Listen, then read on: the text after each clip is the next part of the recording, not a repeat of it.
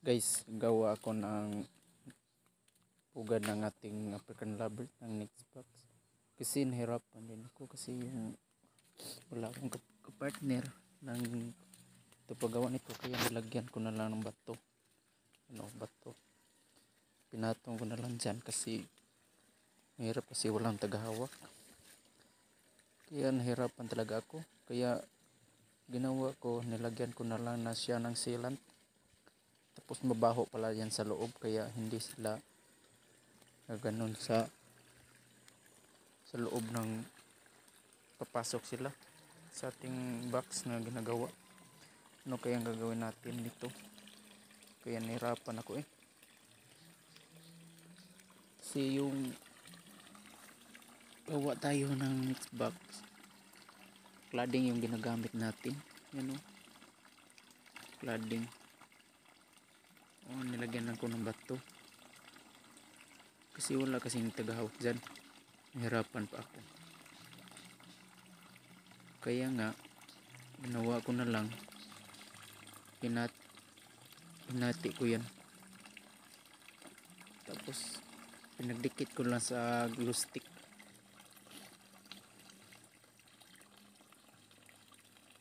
Yan o, tingnan na natin dyan yan. Pagkatapos, maganda naman. Maliliit lang yung butas na nilagay ko dyan.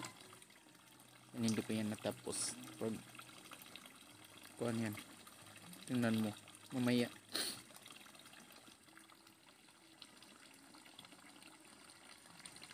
Yun lang ah. matagal pa. Sobrang hirap talaga hirapan ako kasi first time ko lang dito gumawa ng knitbox nating African lovebirds. Nakabili tayo dito sa Cebu. Ang mahal pa par blue.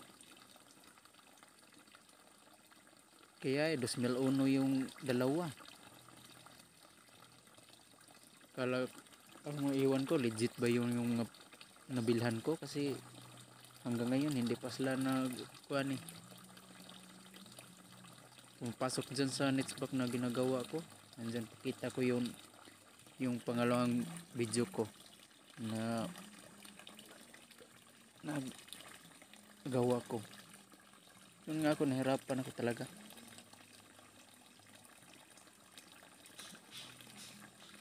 Hirap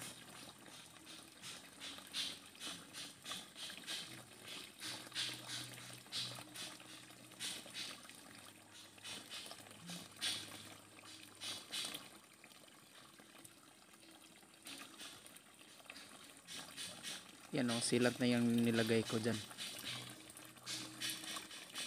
Yan o yan o binutasan ko na dyan. Maliit lang yung butas eh. Akala ko yung sakto na niya yung maliit na butas. Hirapan kasi ako sa pag paggawa ko dyan. Yan buo na yan. Maganda yan. Yung paggawa yung nilagay na sa akin yung sa gilid metal paring lang yun ang gina, ginlaga, ano, nilagay ko dyan kasi doon ako sa karkar bumili sana ako ng aluminum. Hindi ako nakabili eh kasi wala daw silang kuhan daw stock. Kaya tingin-tingin na lang ako metal paring lang yung ginagawa ko. Yan ang sa gilid. Konti lang nilagay ko hindi yung malaki kasi pag laki yung ilagay ko ng metal paring dyan buo nahirapan talaga ako kasi walang tagahawak eh kaya ginawa ko lang dyan. Silant lang yung nilagay ko sa gilid yung sa kanto niya. Hindi dyan sa loob hindi lang sa labas. Kasi sobrang hirap talaga. Kaya cladding lang yun. Maganda sa sana. Kaso hindi sila papasok. Iwan ko sa kanila bakit hindi sila papasok dyan sa susunod mag video ako eh pakita ko sa inyo yung nilakihan ko na yung butas dyan. Hanggang ngayon hindi pa sila pumapasok sa loob. Palagi lang sa gilid sila. Doon sila mag magtambay. Iwan ko. Ano kayang gagawin ko? I-comment na nyo yung paano bakit hindi sila luma pumapasok dyan sa, sa loob turuan nyo ako Lods paano? Lods kasi hindi ko pa alam eh. Bago pa lang ako dito. Yung butas hindi masyadong circle. Kasi wala akong pambutas eh. Yung drill bit ko lang yung kung ano binutas. Kaya maganda. Bilog na bilog.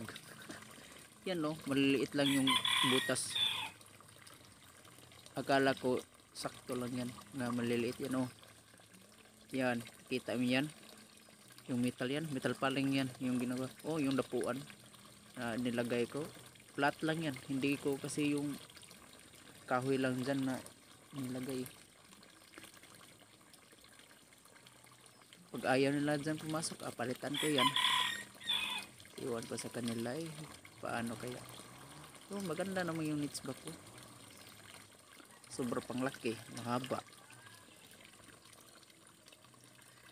Oh diba? Oh nakikita mo yan sa kuan yung dugtong silant lang nilalagay ko.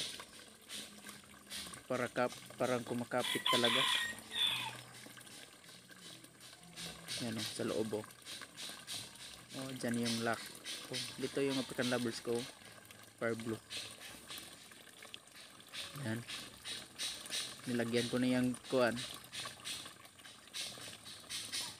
yan malaki yung haluan nila. Ano kayang meron sa kanila? Bakit hindi sila papasok dyan? Yan oh. Yan na napasok na ko. Nilagay ko na sa loob yung net pack nila. Yan oh maganda naman. Bakit kaya ayaw na pumasok dyan? Yan oh. Nilagyan ko na yan ng ano yung tawag na